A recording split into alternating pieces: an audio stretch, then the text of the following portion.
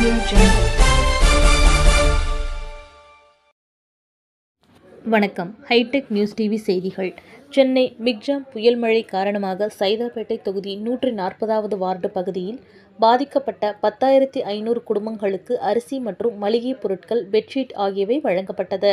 மாமன்ற உறுப்பினர் எம். ஸ்ரீதர் ஏற்பாட்டில் நடைபெற்ற இந்நிகழ்வில் சுகாதாரம் மற்றும் மக்கள் நல்வாழ்வுத்துறை அமைச்சர் மா. சுப்பிரமணியன் தென்சென்னை நாடாளுமன்ற உறுப்பினர் தமிழச்சி தங்கபாண்டியன் ஆகியோர் கலந்து கொண்டு மக்களுக்கு நலத்திட்ட உதவிகளை வழங்கினர்.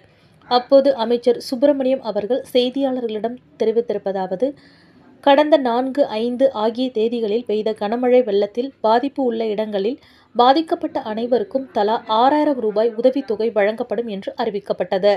மூன்றாவது நாளாக சென்னை செங்கல்பட்டு காஞ்சிபுரம் திருவள்ளூர் ஆகிய நான்கு மாவட்டங்களைச் சேர்ந்த ரேஷன் கடைகளில் டோக்கன்கள் வழங்கப்பட்டு வருகின்றது.